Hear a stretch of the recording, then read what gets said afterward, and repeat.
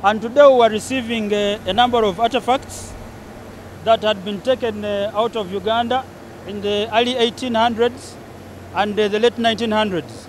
These were taken by the colonialists then. Uh, uh, these are specifically from the UK. There are quite so many uh, around the UK, but this is the beginning of repatriating some of these. And this process began some time back. So today we are receiving around uh, uh, 39, 39 artifacts from the University of Cambridge with a bigger team. Uh, today is a symbolic receiving, but I think two, three days from now, we'll also do another function uh, where we'll officially unveil, unpack, and also do another receiving for, for, for this. The five human remains are the Balongo that were pick, picked from Wamala tombs. And if you heard the minister mentioned that these special objects that came from Wamala tombs or from Buganda kingdom, we have a plan to again take them back where they were picked from.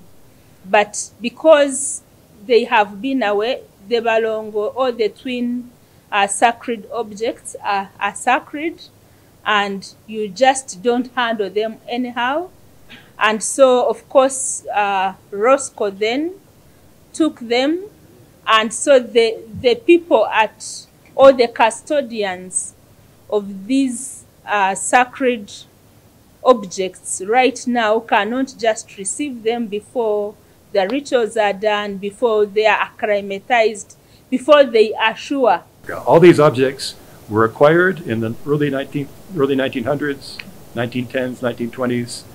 They reflect the power that collectors had over African peoples and African lives. Bringing them back is a way that ourselves, as curators and as scholars, can honor, can make these people live again, can bring their lives and their concerns back into focus 120 years later to allow us here in East Africa to experience what was lost and what might possibly be recovered through the work that museums can do.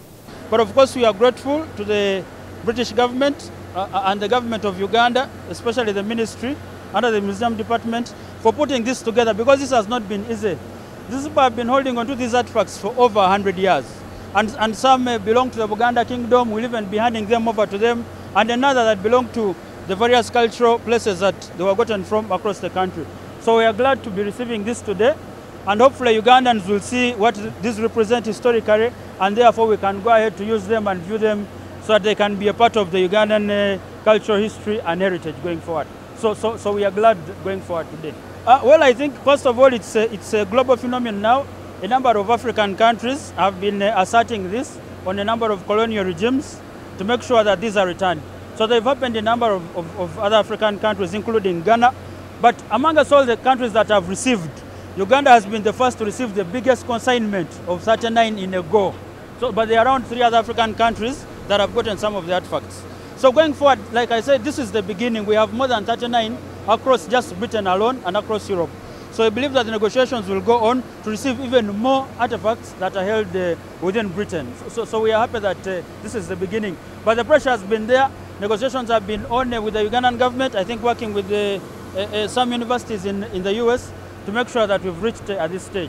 We are working in conjunction with a number of foundations, including Mellon Foundation, that has helped us get here. But still, what we're happy about is we have the things here. And we would have done anything, even without any other support, as government to make sure we got here. But we had partners that helped us in getting these things here. Of course, this is uh, very big for us. Like I've told you, these are things we've not had for over 100 years. And they were so important. That's why the colonialists managed to get them from Uganda and fly them to the UK. So, so, so, so this is history that we've not kept for these 100 years.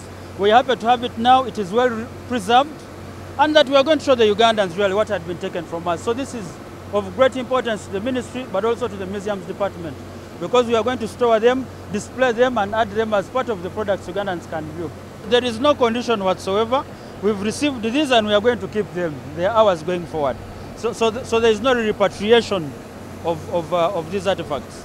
I can say that today is uh, a big day in Uganda's history, and uh, we, as the Ministry of Tourism and specifically the Department of Museums and Monuments, together with the University of Michigan, uh, began a project in 2018 and uh, we started with re- rethinking the Uganda Museum. And then with as we continued to dialogue and discuss how best we can reposition the Uganda Museum, we, we got an idea of repatriating the objects. And with the help of the uh, University of Michigan, we, I have a representative here, Professor Derek. We started by having several ex- exhibitions. Most of you have documented, especially UBC, have documented these exhibitions. We had one in 2019, we had one in 2022, and all these were geared to having bigger things. Bigger things is repatriating objects, and we are able to, to showcase them and be appreciated by the public or by Ugandans. And so this process specifically began in 2019 and then in 2022 because we had a COVID period that delayed the process.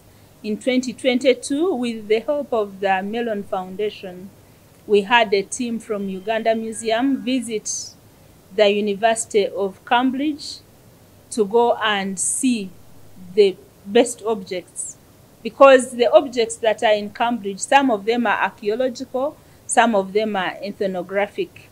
What has been returned are the ethnographic objects that include, when I say ethnographic, these are those that include the daily life, know, what we used in our daily life. So uh, basically, what we have returned are the ethnographic, but among them are five human remains. The five human remains are the Balongo that were pick, picked from Wamala tombs. And if you heard the minister mentioned that these special objects that came from Wamala tombs or from Buganda kingdom, we have a plan to again take them back where they were picked from. But because they have been away, the Balongo or the twin uh, sacred objects are, are sacred and you just don't handle them anyhow. And so, of course, uh, Roscoe then took them, and so the, the people at, or the custodians of these uh, sacred objects right now cannot just receive them before the rituals are done, before they are acclimatized, before they are sure, you know, uh, before they are sure that really they should go back even to where they are supposed to be. So those are the five objects that are going back to Buganda, but the rest of the objects, some of them come from Buganda, others come from Ankole, others from Lango, you know, so they are actually Ugandan objects. And so those ones, they will be at the main repository, which is the Uganda Museum, a repository of all the Ugandan objects. And we shall showcase them, the minister has mentioned that we shall have them be viewed by the public for about two to three days.